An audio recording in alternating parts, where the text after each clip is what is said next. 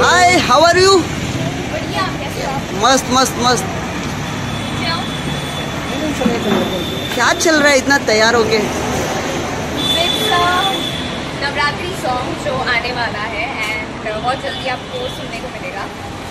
hopefully परसों से wait कर सकते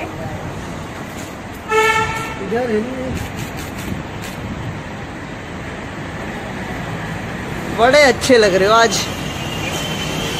अड़क